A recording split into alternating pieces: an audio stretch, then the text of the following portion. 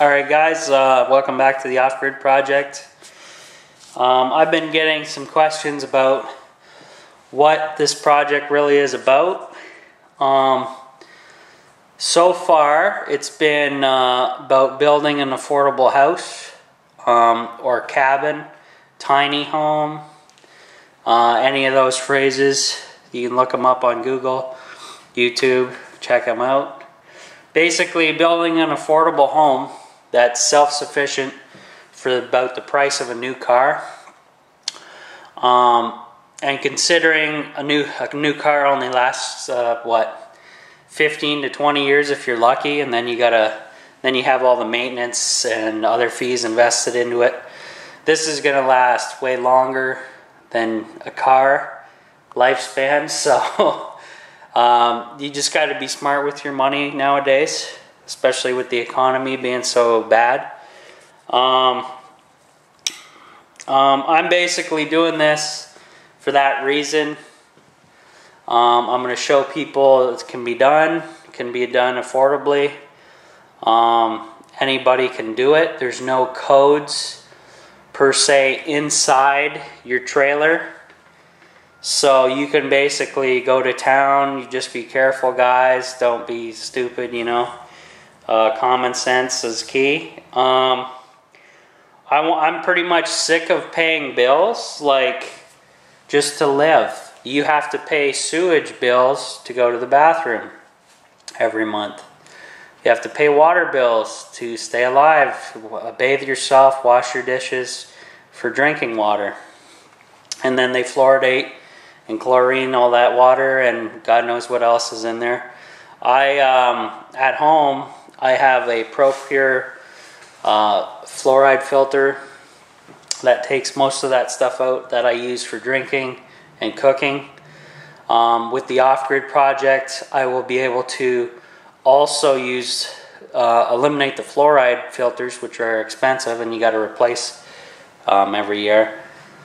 Um, I'll be using the rainwater catchment system as my bathing, washing, drinking water once it's filtered and then I, will just, uh, I'm actually going to switch from the ProPur system um, once I'm in here full time to the Big Berkey system because their black filters can do 3,000 gallons with no time limit on their filters, whereas the Pro, ProPur has a time limit of um, six months to a year, which is ridiculous. It gets quite expensive.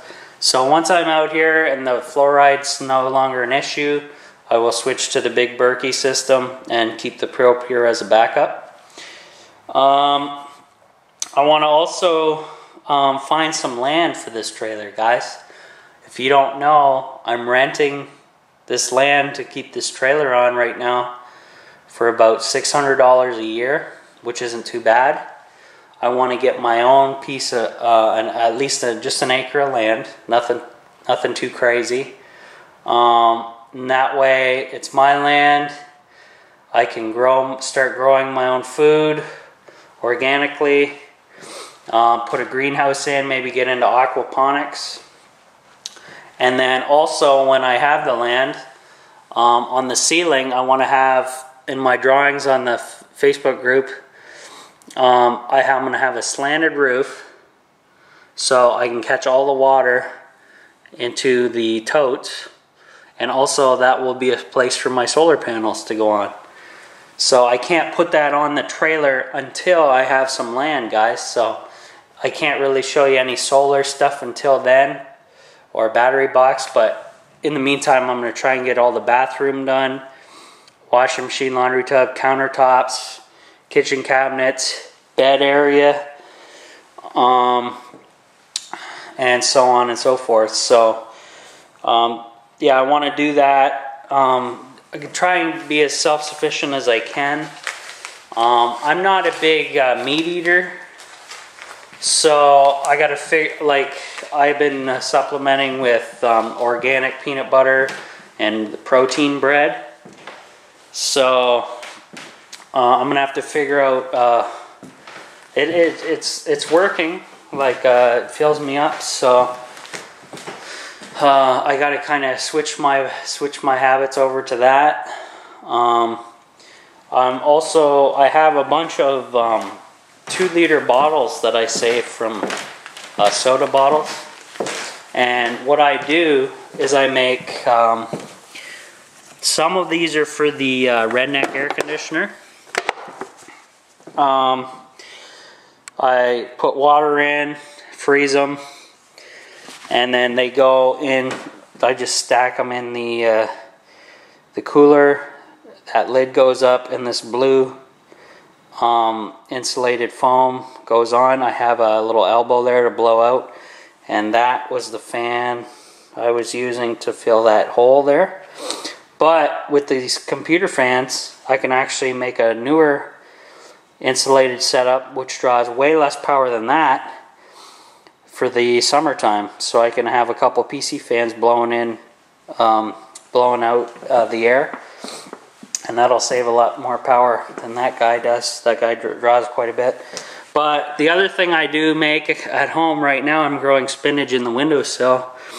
And it's sitting, I cut this two liter bottle in half, about where my thumb is there. And then I flip the top down with that cap off, of course. And you fill that, this section up with soil when it's upside down like this. And then this bottom part is filled with water and uh, I use cotton shoelaces. Uh, I put a couple of them in. You, you might have seen this online.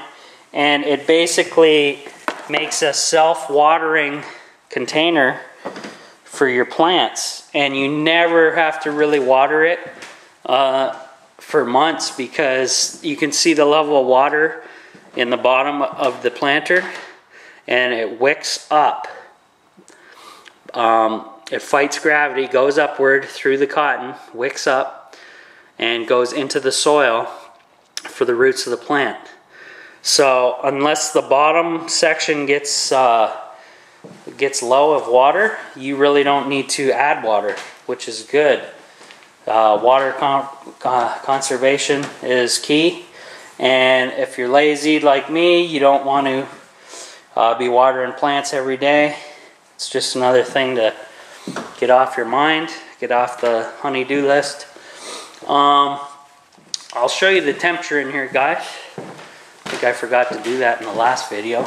It's, it's cool in here. I can't see my breath though, so let's see what we got. We'll move over to the light here a little bit better. So, oh, it's just above freezing. That's why I can't see my breath. And just close to the high 80s for humidity. Um, yeah, um, the so that gives you guys um, a little idea of what this is about.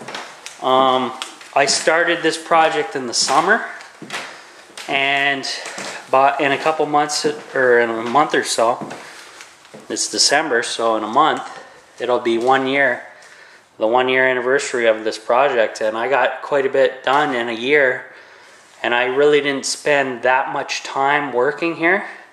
If you add it all up, so even if it was a couple people building this you could definitely get this done uh, faster than I have. Um, it's definitely affordable. Um, when it's all said and done, I'm gonna get I'm gonna total up all my bills. I've been saving all my receipts for everything. Total everything up, show you guys what it takes to build one of these, what it takes to get one of these trailers. Um, and a lot of you guys might be able to get a lot of this stuff um, for free or even cheaper than I have. So it'll be maybe even uh, cost cost you guys way less than what I paid at the end. So that gives you an idea of what the off-grid project is about. Um, it's about trying to get off the grid, saving your money, because every month your paycheck gets lighter and lighter because of all these crazy taxes and these corporations just upping the bill every year for no apparent reason. So hopefully this guy this gives you guys a good overview of the off-grid project. Um, and like I say, money's tight right now, guys. Um, so it's going to be a while for another video to come up. But I want to wish everybody um, a Merry Christmas, Happy New Year, and I hope you guys um, continue to follow me and continue to uh, comment and uh, share my videos. I appreciate it. And uh, that's it for now, guys. We'll see you when I see you.